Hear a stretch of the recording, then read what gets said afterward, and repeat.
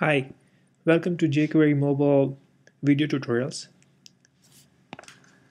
This is the first uh, video in which we'll be covering what is jQuery Mobile and we'll go about writing a simple Hello World app. So jQuery Mobile is a touch optimized um, web framework for writing apps that run on the browser for smartphones, tablets, and desktop uh, browsers. It uses uh, HTML5 features. It's built on top of the famous uh, jQuery library and the jQuery UI framework. And it supports a wide variety of uh, browsers on different mobile devices.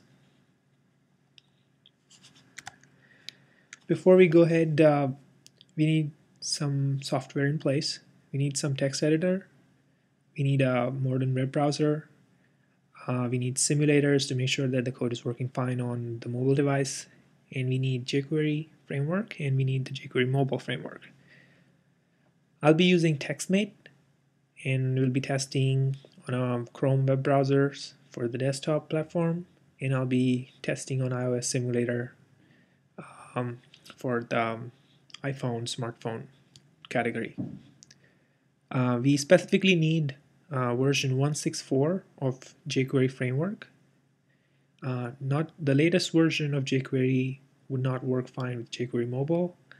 Uh, we will be working on the latest version of jQuery mobile though, which is version 101 at the time of this video.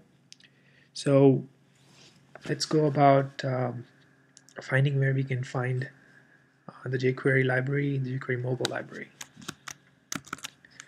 So jQuery, you can download jQuery from jQuery.com.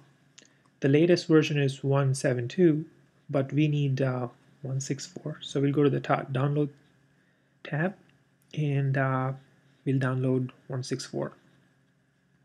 There's two versions, minified and uncompressed. Let's download the uncompressed so that it's more legible. So that's downloading jQuery. I'll put everything inside uh, a jQuery folder. So there's uh, jQuery 164. I also have the latest 172. Now let's get uh, jQuery mobile. Um, let's go ahead and download the latest version. There's a zip file um, that has the JavaScript, CSS, and images for this framework. We'll be using 101 version of jQuery mobile.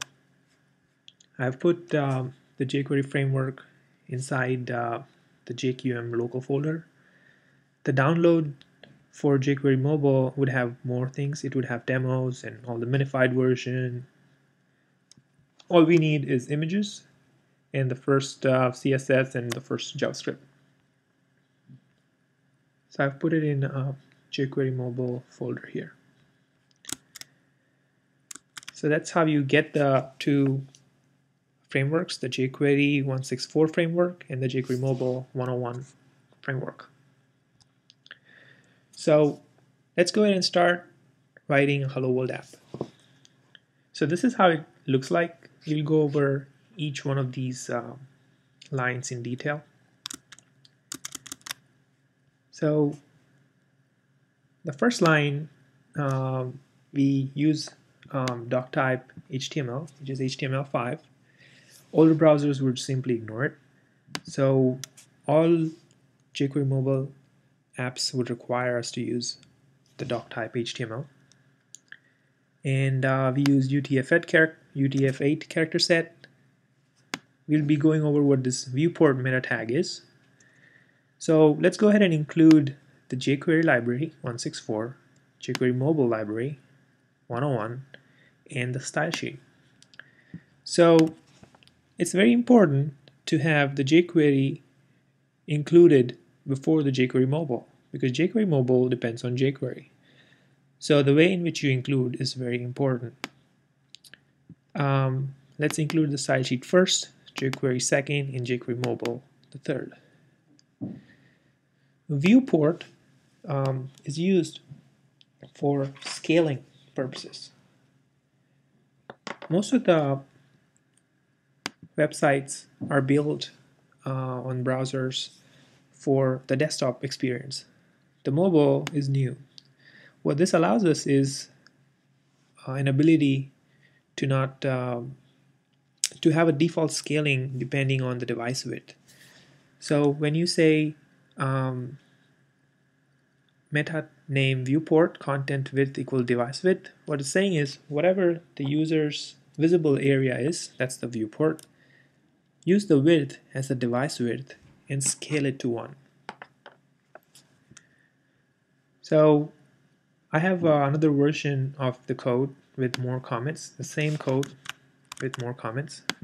So it has more comments about what I'm describing here.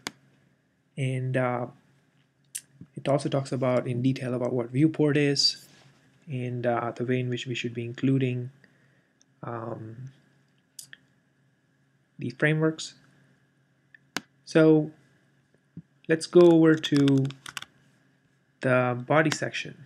So once we've included um, all the frameworks, we let's let's let's uh, create a header, some content, and some footer page.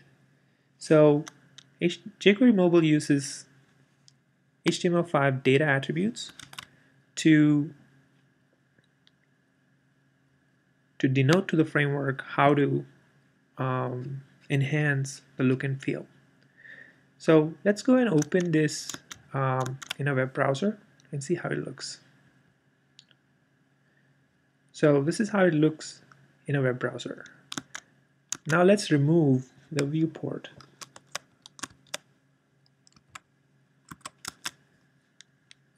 Still looks the same, right? Because it's a browser. Now let's open this in iOS simulator. So I have my iOS simulator open here. I'm just gonna drag this. So as you see, most of the websites looks like this. It's hardly readable you can't make out um, what this um, page looks like. If you add back the viewport and hit refresh, you can see that it is scaled so that it's much more mobile friendly. The zooming is taken care of and uh, the width is also adjusted. So that's the significance of using the viewport. So if you see there's this custom CSS applied to my header, to my footer. That is all because of these data role attributes that we specified.